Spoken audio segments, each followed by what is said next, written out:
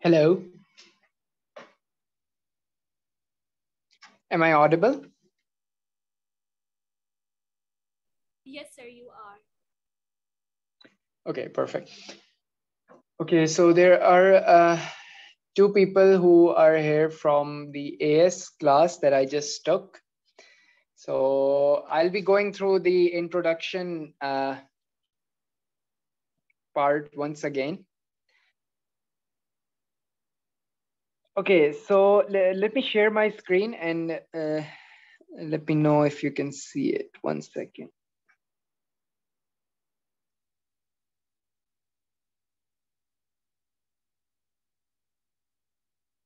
All right, so is my uh, screen visible? Yes, sir. Yes, sir. Okay, perfect. Perfect, perfect. Okay, so uh, this will be an A2 level physics class, right? And we'll be following uh, the topics that are specifically in the A2 level syllabus. So uh, I'll start by introducing myself. Uh, my name is Basil, Basil Abdul Majid. I'll just write it down over here. And I am a physics uh, graduate, theoretical physics graduate from NUST in uh, Pakistan.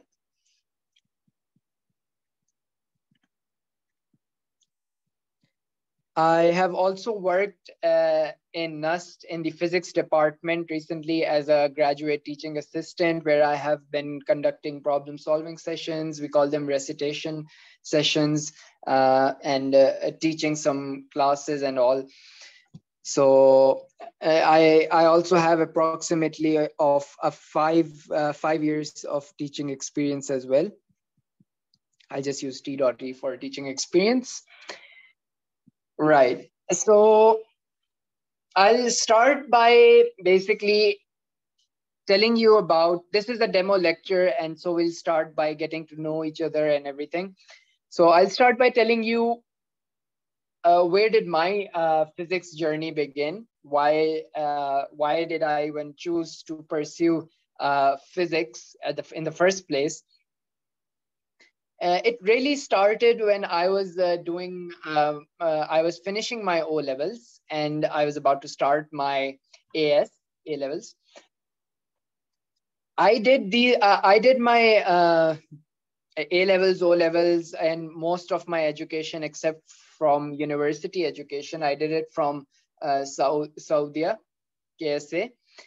And so my, my interest in physics basically developed because I, I was randomly uh, watching videos on YouTube and I came across this documentary of Sir Isaac Newton and uh, and I was intrigued by the documentary and so that uh, that basically took me to uh, even more uh, videos uh, so it, it went on to Albert Einstein's and and so on, right? Uh, so that's where it started from. I started reading popular uh, books, uh, science books, and uh, but eventually you you see that uh, you don't have everything that is uh, covered in those popular science book books. So what you do is uh, you read them you get interested and then when you start doing physics for real uh, for real I, I i mean you know you get into its technicality and and uh, and to be honest uh, without mathematics you cannot uh, do physics at all. So uh, in the in those science books it's just mostly philo- philosophical things in those popular science books anyway uh, so that's where it started from and then i started um, i started my degree in computer engineering from GK. But uh, unfortunately, that happened uh, because uh, my parents they wanted me to uh, pursue engineering. But uh, I left that.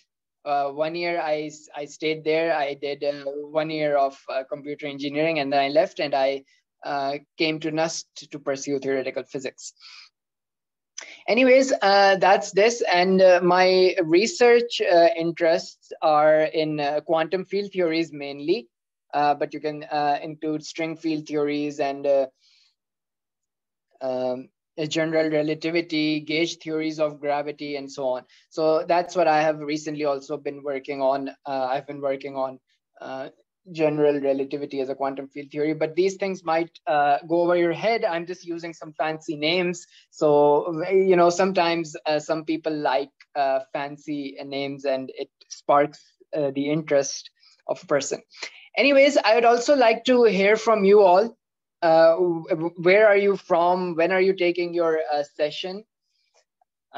this A2 physics session, is it October, November this year or next year, May, June? and what time zones are you from and everything. So you can uh, speak up now.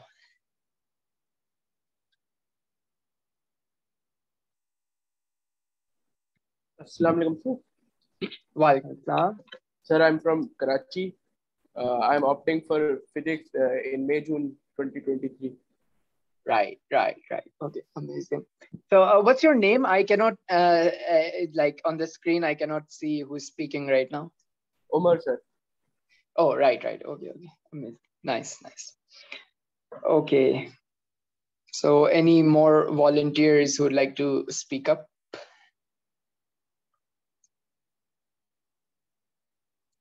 Also, I would like to know uh, your uh, interest in physics. Uh, are you passionate about it? Are you, or uh, or you or you avoid it? You know some people they they find physics really hard.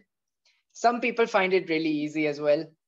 So uh, are you passionate about physics? Do you uh, what do you what are your feelings towards physics sometimes it is easy and sometimes very difficult right right right okay okay so Okay. So yeah, it's uh, it's like that. It's like that sometimes. Um, the problem with physics is, I'll tell you, to be honest, is that you have to think a lot. You have to imagine things, and uh, it requires. It basically requires imagination and a lot of imagination.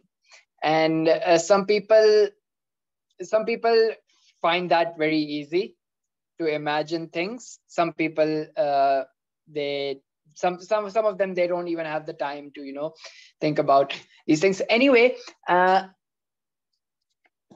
we i'll well let's talk a bit more about this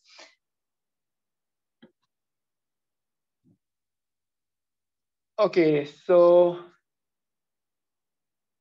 so we'll first uh, let me just first write down this uh, this thing this uh, the pattern that we'll be following how we'll be going along our lectures and everything. So we'll basically we'll be doing this uh, that from monday to thursday will be mainly focused towards uh, uh the theoretical or theory part of or the conceptual part you can say of your uh, course. And of course we'll be sol- doing examples. We'll be doing examples. We'll be solving some problems and all. So that's what we would be doing we'll be doing in uh, from monday to thursday. On friday specifically i would be uh, we'll keep this for questions right? So what i mean by this is i'll be answering your questions we'll be doing uh, we'll be doing past papers on Friday. We'll be focused on uh, past papers. And so what what will happen is that when we are doing this uh, Monday to Thursday, we are doing lectures, we are doing some problems and everything. And uh, of course, you'll have some questions. And uh, maybe not during the lecture, maybe, and definitely maybe also during the lecture. And you can uh, stop me and you can ask your ask your questions anytime that you feel that you don't understand something. You can stop me right there and you can ask your questions. Uh, suppose that you have asked your questions and everything and uh, then later on when you go through your notes again and you look at your concepts again and then you have some questions more questions. So you can note them down you can post them in the whatsapp group as well uh, for example, let's say you're solving a problem and you cannot, you have a, a problem in that problem basically. But uh, so you can just share share that uh, question on WhatsApp group, right? And so uh, try to do it before Friday so that I can I can I can ha- I'll have the time to go through those uh, questions and then we'll uh, sit down and we'll solve or discuss them on Friday. The class that we will have on Friday. Right. So that's this and questions are very important. You have to ask questions. Don't hesitate. Uh, nobody's judging you over here. Uh, what whatever problem that you have, feel free, be open, and just fire away. Right.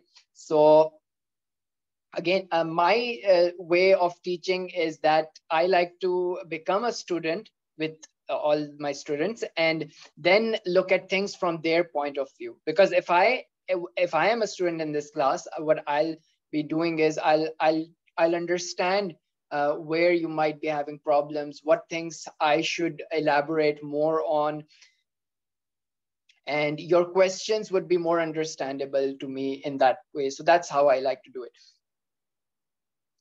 right so that's this. Any uh, questions so far uh, from whatever we have discussed right now?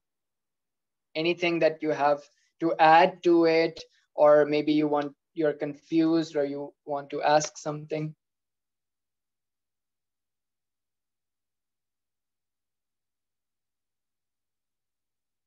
No, sir. Okay, great. So Right. Okay, so uh, at this point, there is this problem uh, in this uh, Zoom. Uh, I, I, I don't have uh, this access to host this meetings for more than 40 or 45 minutes, I think it is. So uh, hopefully this problem will get resolved by tomorrow. And we can pick up the pace and we'll start with chapter one properly, which is of uh, motion in a circle, I think, right? Circular motion, basically. Uh, so we, what we can do is we can start the topic right now. But before I go into that, uh, I think I, I, I, I have already asked you this, right? Uh, if uh, do you find physics uh, boring? Any of you, any of you who thinks it's just boring or like it's just too many equations and like it's it goes above my head completely.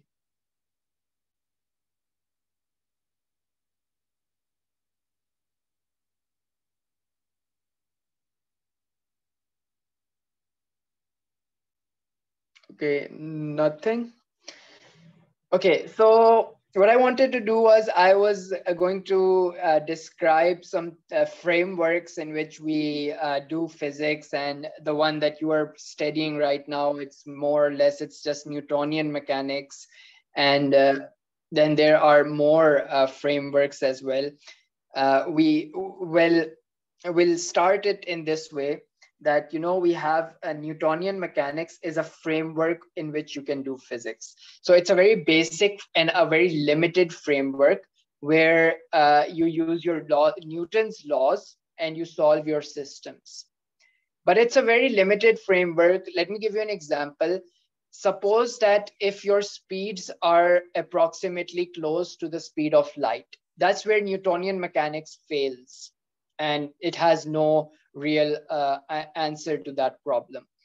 So that's when uh, we uh, use something else, another framework, and that's special relativity.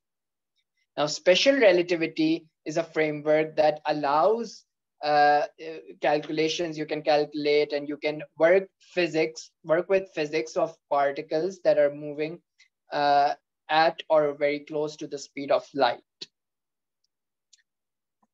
And then, and then uh, what is another thing that you can have? we have atoms, we have uh, electrons, we have subatomic particles. And those particles cannot be described as well properly using Newtonian mechanics. You need something else, and that something else is uh, quantum mechanics. I don't know if you have heard the name.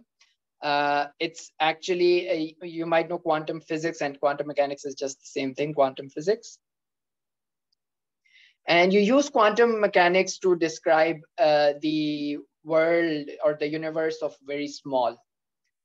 And so there should, uh, there is always a correspondence principle, you can say, which can take you from SR back to Newton's uh, Newton Newtonian mechanics. And that correspondence principle for this case from going from SR to Newtonian mechanics is uh, when your speeds are smaller than the speed of light. That's when you go, you can go back to Newtonian mechanics and you can use the Newtonian mechanics framework without any problem whatsoever, right? And similarly, for quantum mechanics, you can go to Newtonian mechanics if your, uh, well, there are many ways to state this. Uh, I'll just state it in something that you will understand more. Uh, when the size of your particles uh, is large. So you can use Newtonian framework. What about the fact that if your particles are very small and they are moving with a very fast speeds. This, so their speeds are approximately uh, closer to the speed of light. That's when you need another framework, and that is called quantum field theory. And so this is basically combining quantum mechanics and special relativity. And it's actually even a very uh, it's kind of you can say it's a recent uh, theory or it's a recent framework in which we work anyways uh, so what we will be or what you uh, focus more on in your AS uh, O levels and A2 physics is Newtonian mechanics. And then you go, you go to your university and if you're, uh, even if you're doing any uh, pre-engineering course or uh, you're doing engineering in your university or you're doing uh, mathematics or physics, for example, uh, you take very basic courses in the first semester. You take a mechanics, the course of mechanics, or sometimes it's called applied physics and you use Newtonian mechanics for the most part of it. And uh, then you go if you're if now if your career uh, if your education is in physics itself it's deep uh, focused in physics so you're doing a degree in physics then you move into these things uh, you learn about special relativity quantum mechanics and uh, if you want to you can also pick a course of quantum field theory and so these are, so what you're doing right now, Newtonian mechanics, it's a very limited framework. And so if you want to learn about things uh, more deeply and, you know, understand things um, in a much more real uh, life situation way, then you need uh, to understand special relativity, quantum mechanics, uh, and then even quantum field theory and so on. Anyways, uh, this was just me telling you about some uh, to trying to get you interested into uh, physics. I guess what we should do uh, from this point now is let's uh, start with the first chapter of a2 uh, physics. Uh, wait one second. Let me okay perfect so before I do this, again, I'd like to ask you if there is any question.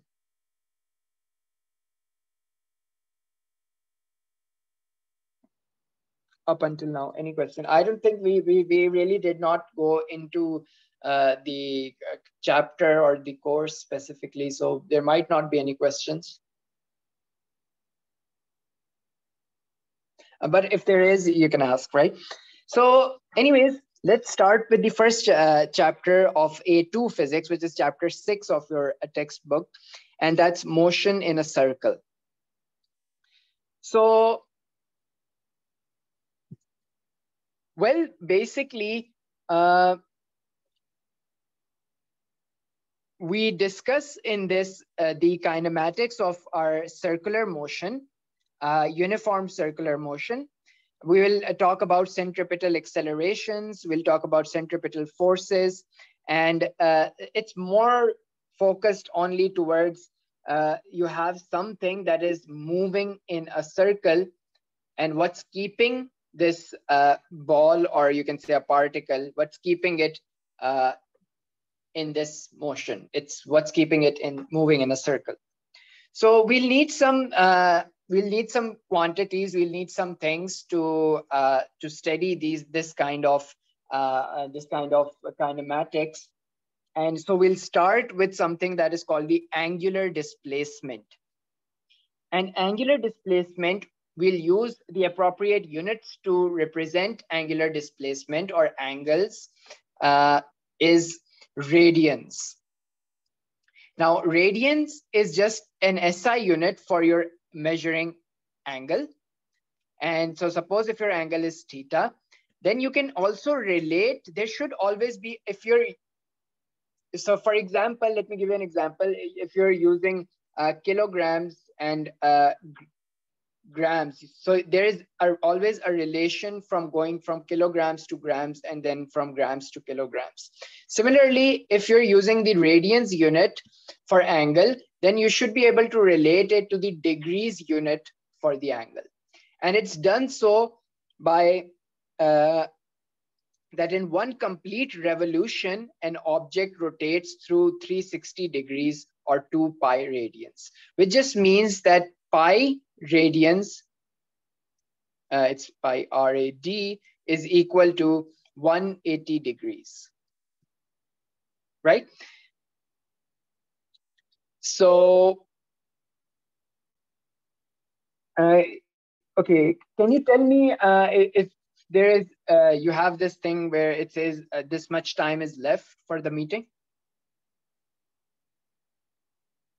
Not yet. You cannot see the time of meeting? How much time is left? Okay. already 25 minutes gone. Um, that means around 15 minutes left. Right. Okay. Okay. Okay. So, right. So we have pi radians is 180 degrees. So that's the relationship between radians and degrees. So we have that uh, when an object is moving in an angle with respect to the center of the rotation, the angle theta is known as the angular displacement. So what that means is uh, you have, so something is bound to this center point, right? And it's moving about this center. So it will move like this. So suppose that this is your uh, reference line and you measure the angle from this reference line. So whatever distance that this moves in this direction, right? You can measure the angle from this reference line and that would be the angular displacement of this ball that has been, that is moving. So let's call it a ball or let's call it a particle, whatever, right? So that's your angular displacement. That's how an angular displacement is defined. So if if I have something that's an, that's uh, defined as angular displacement, then I can define what is called the angular velocity. So it is how fast does your displacement changes, the angular displacement. How fast does the angular displacement changes is called the angular velocity omega. And it's represented with omega where you can mathematically write it as uh, the uh, ratio of your angular displacement to time. Now, if you have uh, a one complete revolution, which just means that suppose it starts from this point A and it moves in a circle and it comes back to its po this point A, then that's one complete revolution. And for that, the angular uh, velocity is defined uh, as 2 pi over t, where t is the time period. And the fact that we have this time period over here, it comes from this thing that uh, time period is basically defined as the time it takes for your body to complete one complete revolution, which was uh, defined over here, right? So starting from one point and coming back to that point in a circle is defined as a complete revolution. Right, so next we have a linear velocity. Now, what is linear velocity? If you have something that is moving in a circle, so something is keeping this uh, particle moving in a circle. So let's just try to draw it over here. And suppose at this point, suppose that there is some string that is attached to this ball or a particle and it's keeping it moving in a circle. What if this string goes away? The string vanishes what would happen at that point? Suppose that it was moving in this direction. Can you tell me what would happen if I just remove the string or someone just cuts the string off? What would happen to this particle?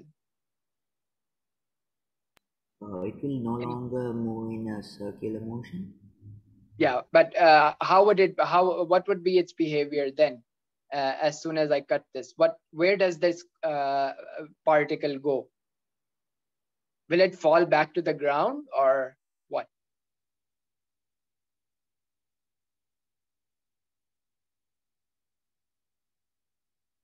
Anything you can you can say uh, even if uh, your answer is wrong.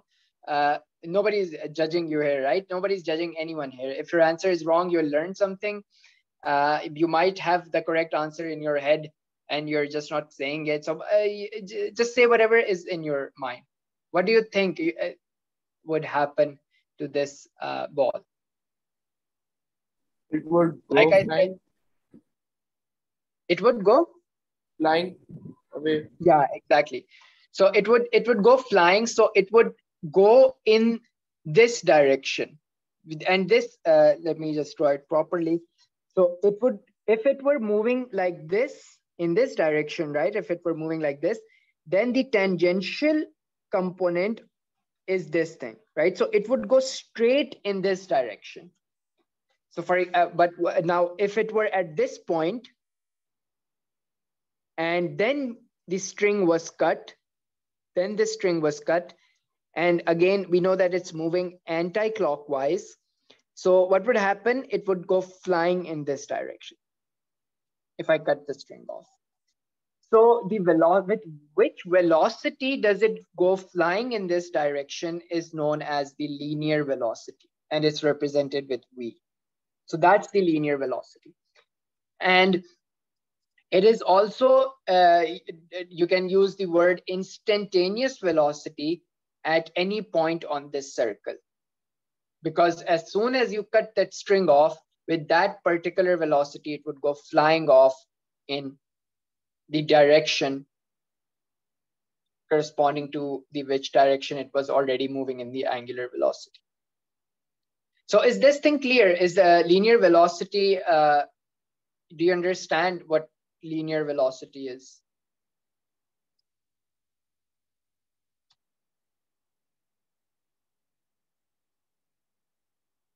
Or is there any question?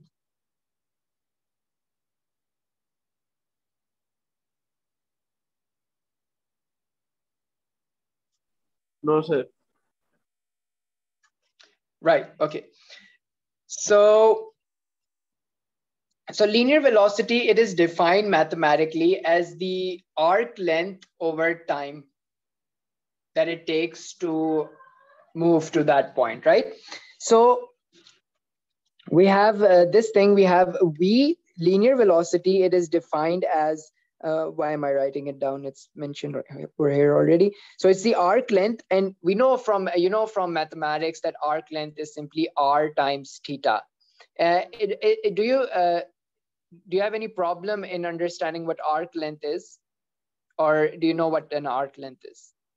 It's just, uh, so suppose you have this angle theta over here, and this is the arc that it forms. And so this the length of this region is the arc length. And you can find that by simply uh, multiplying this length with the angle theta. And so if this length is r, then you have r times theta as this, the length of this arc. Right? So so what happens why is it arc length over time taken the reason for that is because if it was moving in some direction right so what you do is uh, suppose it's at this point and initially before just before that it was at this point so what happened is uh, it would have the velocity that it would have had between these two points this region. So what you do is the time it takes for uh, this uh, this uh, particle to move from here to here where you just cut this string off is the time taken and the length of this path was the arc length of this circle which is r theta so that gives you r theta over t which is basically r times omega and the reason for that is because theta over t was defined as omega where omega is the angular velocity. So you can even write, so you can write down your uh, linear velocity in terms of uh, your angular velocity, which uh, you should not be surprised. It should have been possible because it was already uh, related, the linear velocity was related to the angular velocity. Sir, can you explain it again? Uh, yeah, of course I can. Uh, which part are you uh, talking about? Sir, the formula. Oh, right. So why is it like this? Well, uh, so you have to imagine, right? So suppose that you are uh, you have some string attached to a particle or a ball and you're moving it in a circle. When you break the string, what happens is uh, you have to uh, you have to consider this some change in angle, change in theta. You have to consider some infinitesimal, uh, you can say infinitesimal area or infinitesimal length, which means that very small. So what would what was happening just before I cut the string and right at the moment I cut the string. So that's this length over here which is uh, your arc length basically. And the length of this string is basically the radius of the circle that when you are moving your string uh, or the object in a circle. That's uh, R. And the angular displacement just before and right at the moment when you cut the string is this theta. So this gives you this length, which is R times theta. And I want to find the velocity of uh, how fast did this point move to this point. So this point, how fast did this point move to that point? So I'll just take this length that it covered divided by the time that it took to cover that length. So that is this linear velocity. Is it uh, any better now?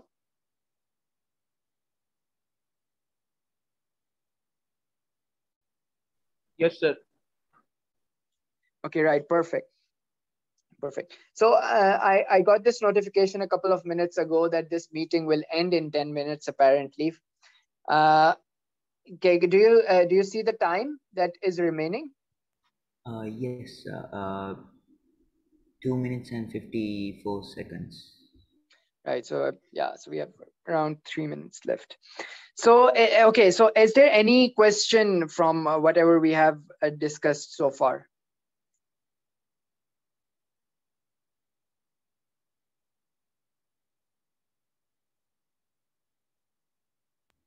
Right. Okay. Okay. So, so uh, now uh, I've already explained this thing to you that the direction of the linear velocity is tangent to the circle, right? You can see that because uh, when I drew this thing, so this was just a tangent at this point where the object was, this line was a tangent to that point, And this tangent vector is defined as the linear velocity of this uh, object at that particular point. And because it's defined using this tangential vector, it's also referred to as a tangential velocity right? So uh, these terms, they're just the same thing, right? Tangential velocity and linear velocity is exactly the same thing.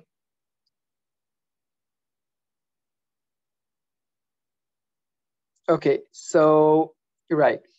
Now, if you look, even if you look at this expression for omega, which is angular velocity, and for v, which is the linear velocity, you can immediately tell that the this thing omega, the angular velocity, at every point on your circle would remain constant, right? So when so if it was moving in this, if it was at this point at some time, or if this ball was at this point at some time, the angular velocity remains constant.